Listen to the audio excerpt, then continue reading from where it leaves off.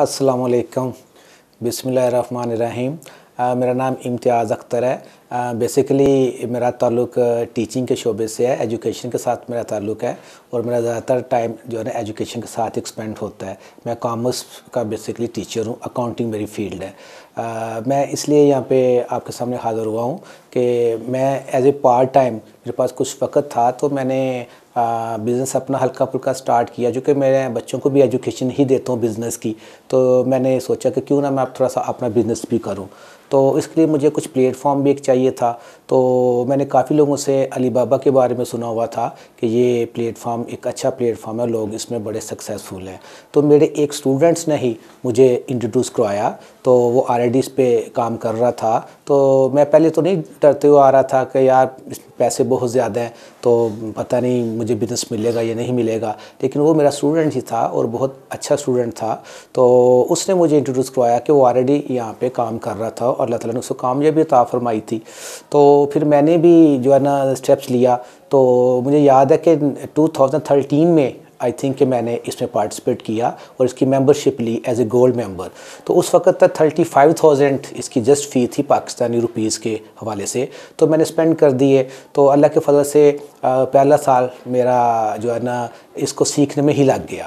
یعنی علی بابا کو سیکھنا بھی پڑتا ہے ان کی ویب سائٹ پہ کام کیسے کرنا ہے۔ تو اس کے باوجود میرا تھرٹی فائیو تھاؤزینڈ پورا بھی ہو گیا۔ تو پھر میں نے انیشیٹو لیا اور سیکنڈ ایئر بھی میں نے کو دوبارہ رینیو کروا لیا اپنا اکاؤنٹ اور اگین تھرٹی فائیو تھاؤزینڈ پہ ہی یہ رینیو ہو گیا۔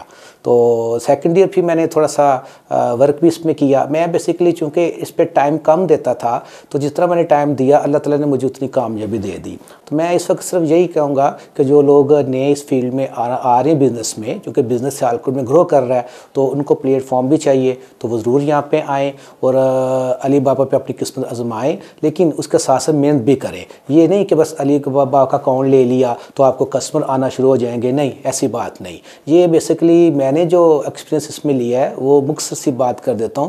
اس کو ایک آن لائن دکان سمجھیے۔ جیسا ایک شاپ نہیں ہوتی، آن لائن، یہ انٹرنیشنل شاپ ہے آپ کی۔ اور اس میں آپ کو جو ہے نا، زیادہ سے زیادہ ٹائم دینا ہے۔ جس طرح ایک بازار میں دکان ہوتی ہے، ایک ساتھ ساتھ کتنی دکانیں ہوتی ہیں، تو کسٹمر آتے ہیں نا، تو وہاں آپ ان کو اچھی سروسز دیں گے، تبھی وہ آپ سے سامان خریدے گا۔ تو یہ ایک آن لائن دکان ہے۔ یعنی آپ کو اس کو کھولنا ہوگا۔ آئی مین اس پہ ورکنگ کرنی ہوگی اور جب آپ اس پہ ورکنگ کریں گے، زیادہ سے زیادہ ٹائم سپینڈ کریں گے تو آپ کی رینکنگ اچھی ہوگی۔ اور جب رینکنگ اچھی ہوتی ہے تو ڈیفینیٹلی آپ کو کسٹمرس ملیں گے اور آپ گرو کریں گے۔